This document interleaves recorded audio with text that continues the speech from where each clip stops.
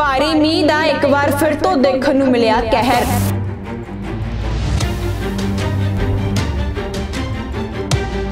ਦੇਖੋ ਕਿਵੇਂ ਅਚਾਨਕ ਹੀ ਘਰ ਦੇ ਵਿੱਚ ਸਹੁਰੇ ਪਰਿਵਾਰਕ ਮੈਂਬਰਾਂ ਦੇ ਉੱਤੇ ਡਿੱਗ ਜਾਂਦੀ ਹੈ ਘਰ ਦੀ ਕੰਧ।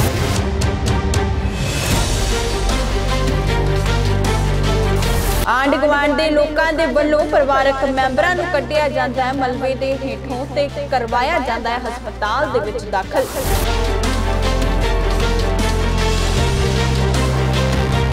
ਇਸ ਵੇਲੇ ਦੀ ਖਬਰ ਤੁਹਾਡੇ ਨਾਲ ਸਾਂਝੀ ਕਰਨ ਜਾ ਰਹੇ ਹਾਂ ਕਿ ਜਿੱਥੇ ਪੰਜਾਬ ਦੇ ਵੱਖ-ਵੱਖ ਇਲਾਕਿਆਂ ਦੇ ਵਿੱਚ ਭਾਰੀ ਬਾਰਿਸ਼ ਹੋ ਰਹੀ ਹੈ, ਤਬਾਹੀ ਦਾ ਮੰਜ਼ਰ ਦੇਖਣ ਨੂੰ ਮਿਲ ਰਿਹਾ ਤੇ ਉੱਥੇ ਖਬਰ ਡੇਰਾ ਬਾਬਾ ਨਾਨਕ ਤੋਂ ਸਾਹਮਣੇ ਆਈ ਹੈ ਕਿ ਜਿੱਥੇ ਲਗਾਤਾਰ ਬਾਰਿਸ਼ ਹੋ ਰਹੀ ਸੀਗੀ ਤਾਂ ਇਸ ਦੌਰਾਨ ਬਾਰਿਸ਼ ਨੇ ਇੱਕ ਵਾਰ ਫਿਰ ਤੋਂ ਗਰੀਬ ਪਰਿਵਾਰ ਦੇ ਉੱਤੇ ਕਹਿਰ ਢਾ ਦਿੱਤਾ ਹੈ। ਪਰਿਵਾਰਕ ਮੈਂਬਰ ਸੁੱਤੇ ਹੋਏ ਸੀਗੇ ਤਾਂ ਇਸ ਦੌਰਾਨ ਅਚਾਨਕ ਹੀ ਪਰਿਵਾਰਕ ਮੈਂਬਰਾਂ ਦੇ ਉੱਤੇ ਘਰ ਦੀ ਕੰਧ ਡਿੱਗ ਜਾਂਦੀ ਹੈ, ਜਿਸ ਕਰਕੇ ਪਰਿਵਾਰਕ ਮੈਂਬਰ ਜ਼ਖਮੀ ਹੋ ਜਾਂਦੇ ਨੇ। ਆਂਢ ਗੁਆਂਢ ਦੇ ਲੋਕਾਂ ਦੇ ਵੱਲੋਂ ਉਹਨਾਂ ਨੂੰ ਮਲਬੇ ਦੇ ਹੇਠੋਂ ਕੱਢਿਆ ਜਾਂਦਾ ਹੈ। ਤਾਂ ਬੜੀ ਮੁਸ਼ਕਿਲ ਦੇ ਨਾਲ ਜਦੋਂ ਪਰਿਵਾਰਕ ਮੈਂਬਰ ਕੱਢੇ ਜਾਂਦੇ ਨੇ ਤਾਂ ਉਹਨਾਂ ਨੂੰ ਜਲਦ ਤੋਂ ਜਲਦ ਹਸਪਤਾਲ ਦਾਖਲ ਕਰਵਾਇਆ ਜਾਂਦਾ। ਤਾਂ ਮੌਜੂਦਾ ਤਸਵੀਰਾਂ ਤੁਹਾਨੂੰ ਘਰ ਦੀਆਂ ਦਿਖਾਈਆਂ ਜਾ ਰਹੀਆਂ ਨੇ ਕਿਸ ਕਦਰ ਪਰਿਵਾਰਕ ਮੈਂਬਰ ਜਦ ਸੁੱਤੇ ਹੁੰਦੇ ਨੇ ਤਾਂ ਉਹਨਾਂ ਦੇ ਉੱਤੇ ਅਚਾਨਕ ਹੀ ਕੰਧ ਡਿੱਗ ਜਾਂਦੀ ਹੈ ਜਿਸ ਕਰਕੇ ਸਾਰਾ ਪਰਿਵਾਰ ਮਲਵੇ ਦੇ ਹੇਠਾਂ ਆ ਜਾਂਦਾ ਹੈ। ਤਾਂ ਆਂਢ ਗੁਆਂਢ ਦੇ ਲੋਕਾਂ ਦੇ ਮਦਦ ਦੇ ਸਦਕਾ ਪਰਿਵਾਰਕ ਮੈਂਬਰਾਂ ਨੂੰ ਮਲਬੇ ਦੇ ਹੇਠਾਂ ਜੋ ਦੱਬੇ ਹੋਏ ਲੋਕ ਸੀਗੇ, ਜੋ ਦੱਬੇ ਹੋਏ ਪਰਿਵਾਰਕ ਮੈਂਬਰ ਸੀਗੇ, ਉਹਨਾਂ ਨੂੰ ਬਾਹਰ ਕੱਢਿਆ ਗਿਆ ਤੇ ਹਸਪਤਾਲ ਰੈਫਰ ਕਰਵਾਇਆ ਗਿਆ ਤਾਂ ਦੱਸਿਆ ਇਹ ਵੀ ਜਾ ਰਿਹਾ ਹੈ ਕਿ ਇਸ ਪੀੜਤ ਪਰਿਵਾਰ ਦਾ ਘਰ ਖੇਤਾਂ ਦੇ ਵਿਚਾਲੇ ਸੀਗਾ। ਆਲੇ ਦੁਆਲੇ ਖੇਤਾਂ ਦੇ ਵਿੱਚ ਲਗਾਤਾਰ ਪਾਣੀ ਭਰਿਆ ਹੋਇਆ ਸੀਗਾ। ਬਾਰਿਸ਼ ਦੇ ਕਰਕੇ ਜੋ ਲਗਾਤਾਰ ਬਾਰਿਸ਼ ਹੋ ਰਹੀ ਸੀ, ਉਸ ਕਰਕੇ ਖੇਤਾਂ ਦੇ ਵਿੱਚ ਪਾਣੀ ਭਰਿਆ ਹੋਇਆ ਸੀਗਾ ਤੇ ਉਹ ਪਾਣੀ ਘਰ ਦੀ ਨੀਹਾਂ ਦੇ ਵਿੱਚ ਜਾ ਰਿਹਾ ਸੀਗਾ। ਨੀਂਹ ਕਮਜ਼ੋਰ ਹੋ ਜਾਂਦੀ ਹੈ, ਜਿਸ ਕਰਕੇ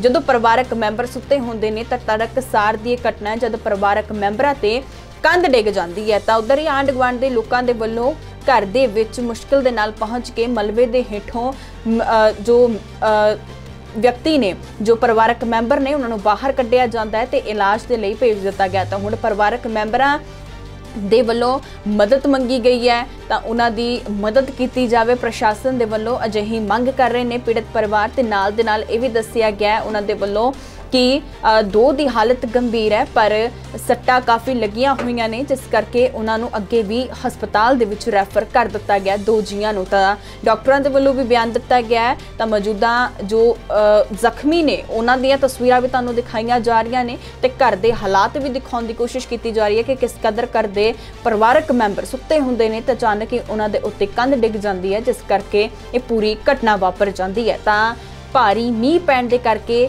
ਇਹ ਸਾਰਾ ਕੁਝ ਹੁੰਦਾ ਹੈ।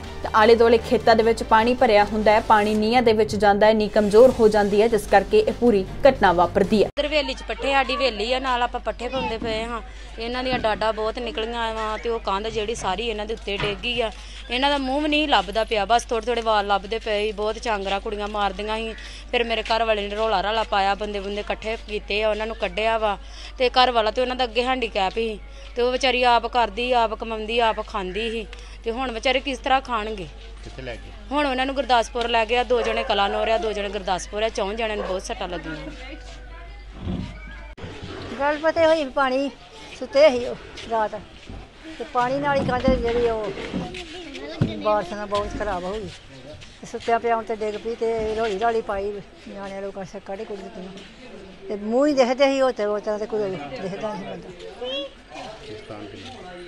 ਨਿਸ਼ਾਨ ਨੂੰ ਵੀ ਸੱਟ ਲੱਗੀ ਤੇ ਸਾਰਿਆਂ ਨੂੰ ਲੱਗ ਗਈਆਂ ਸੱਟਾਂ ਕਿੰਨੇ ਜੀ ਕਿੰਨੇ? ਚਾਰ ਜੀ ਆ। ਪੰਜਵਾਂ ਤੇ ਵਿਚਾਰਾ ਪਾਣੀ ਚ ਡਿੱਗਾ ਸੀ ਪਾਣੀ ਚੋਂ ਕੱਢ ਕੇ ਲਿਆਂਦਾ ਵਿਚਾਰੇ ਮੁੰਡਿਆਂ ਨੇ। ਮੇਰਾ ਨਾਮ ਭਾਜੀ ਰਵੀ ਹੈ। ਮੈਂ ਡੇਰਾ ਬਾਬਾ ਨਾਨਕ ਤੋਂ ਹਾਂ। ਸਾਡੇ ਘਰ ਅੱਜ ਪੌਣੇ 6 ਵਜੇ ਦੀ ਗੱਲ ਆ ਸਾਰੇ ਸੁੱਤੇ ਪਏ ਸੀਗੇ ਤੇ ਕੰਧ ਡਿੱਗ ਪਈ ਸੀ ਘਰ ਦੀ ਤੇ ਚਾਰ ਜਣੇ ਜ਼ਖਮੀ ਹੋਏ ਮੇਰੀਆਂ ਦੋ ਸਿਸਟਰਾਂ ਮੰਮੀ ਤੇ ਪਾਪਾ ਮੇਰੇ।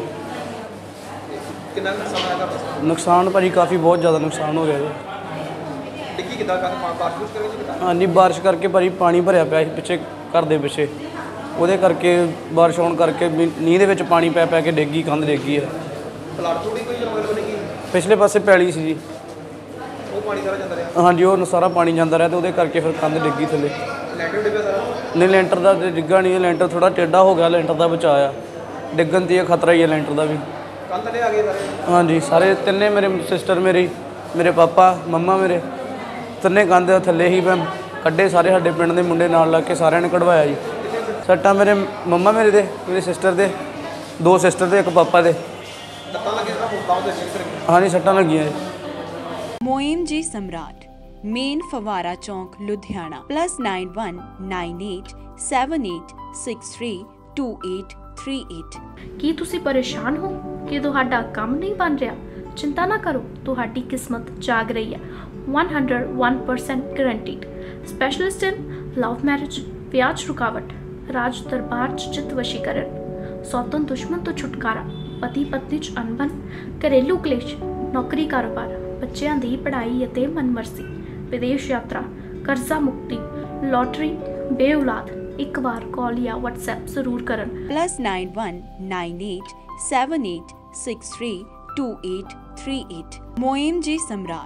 ਮੇਨ ਫਵਾਰਾ ਚੌਂਕ ਲੁਧਿਆਣਾ।